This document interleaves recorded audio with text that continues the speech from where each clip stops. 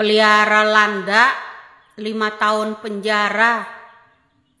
Tapi ada orang di Malang ya yang namanya restoran Buria itu sate landa. Berapa banyak landa yang dibunuh-bunuhin? Tapi nggak dikenakan apa-apa.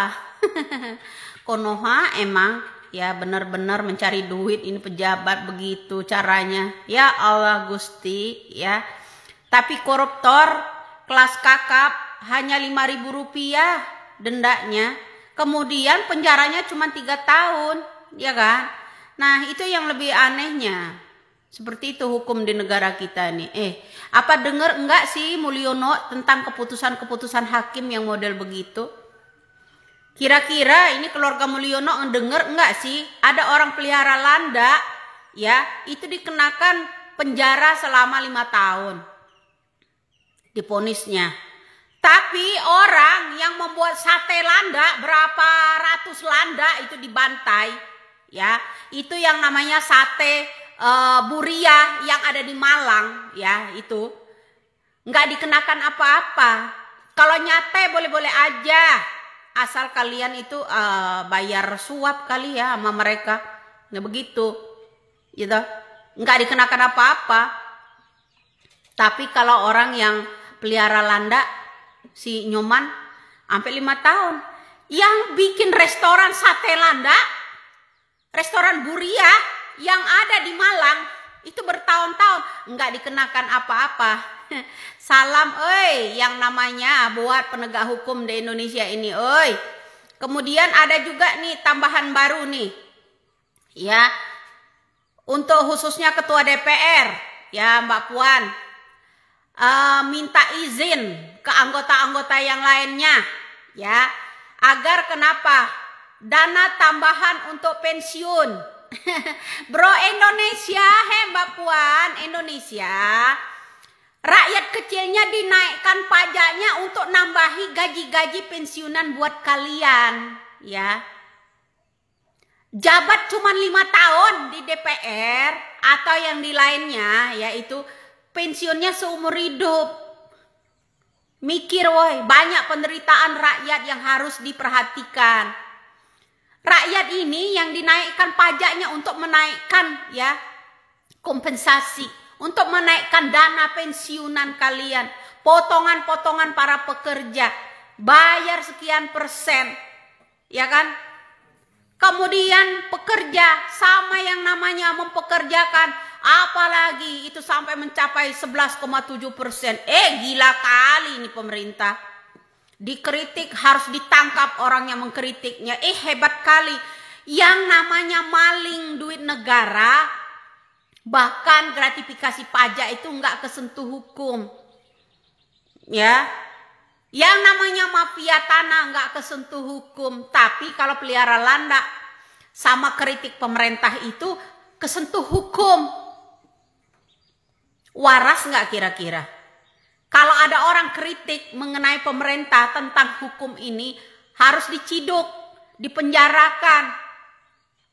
Lalu orang-orang yang di sana ya gadaikan SK-nya didukung untuk pengajuan untuk kantong pribadinya.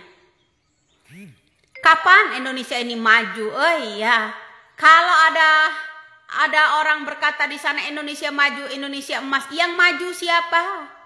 Ya kan? Emasnya buat siapa? Itu yang harus kita kritik, bro.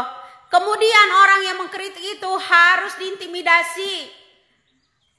Harus diciduk. Itulah hukum di Indonesia yang sebenarnya. Untuk apa mereka? Undang-undang tahun 2023 artinya masih baru dong dibuat. Ya kan? Agar kenapa?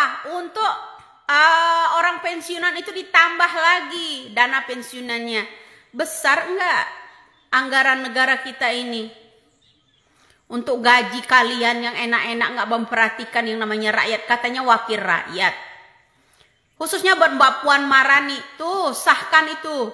Ya, undang-undang perampasan aset kalau memang mau benar. Ya kan? Kemudian itu dirombak lagi, woi, itu yang namanya undang-undang Nih, terutama undang-undang untuk masyarakat kecil ini dirugikan segitu banyaknya. Rugi waktu, rugi uang rakyat kecilnya. Indonesia diwajibkan bayar pajak naik terus untuk memberikan tambahan pensiunan buat kalian di sana. Siapa yang kritik diciduk? Eh, undang-undang apa ini yang dimasuk draft kemarin? Woi, ih, Ngeri-ngeri gimana negara kita ini bro? Uh, ngalahin komunis negara kita ini ya Allah. Katanya pro rakyat, rakyat yang menaikkan eh, dinaikkan pajaknya membayar pajak untuk menaikkan tambahan pensiunan buat kalian. Sementara pengangguran, angka pengangguran di Indonesia itu banyak sekali. Terus mau motong gaji siapa, Mbak Puan? Kalau kayak gitu. Persetujuan undang-undang itu dari DPR ke MPR, pengesahannya baru presiden. Ya.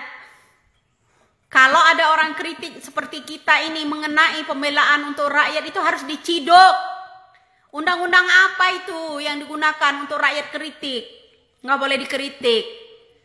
Ya kan? Rakyat udah berontak, woi. Melek.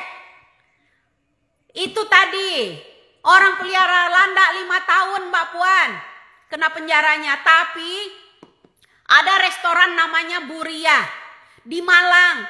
Itu sate landak itu udah bertahun-tahun nggak dikenakan apa-apa.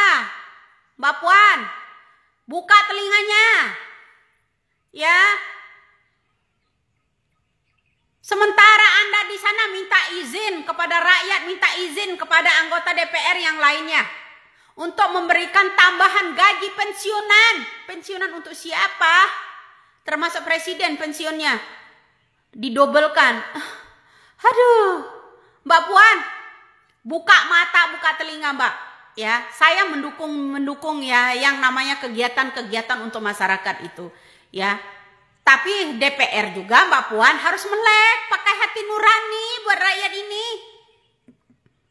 Jangan semena-mena. Itu undang-undang 2023 dibuatnya. Pasal 148 apa berapa itu, ya? Nah, ini yang gak karu-karuan. Yang gak boleh dibacakan nggak ini. Seharusnya membuat undang-undang itu beritahu kepada masyarakat. Ya, itu merugikan apa menguntungkan buat rakyat. Kalau hanya menguntungkan perut-perut Anda saja, untuk apa? Katanya mewakili rakyat. Rakyat banyak, banyak yang miskin seharusnya. Kalian mewakili orang-orang miskin rakyat. Ya kan? Karena rakyat belum kaya, sementara Anda yang kaya, Anda lah yang mewakili kekayaan rakyat Indonesia. Eh, nggak boleh yang begitu loh. Tolong melek ya Mbak, Mbak Puan. Saya semua saya kritik.